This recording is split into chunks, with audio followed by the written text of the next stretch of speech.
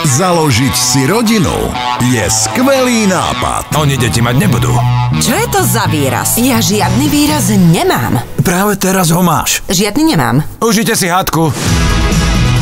Našla som adopčnú kanceláriu a o týždeň majú inštruktáž. Ale mať zo dňa na deň veľkú rodinu.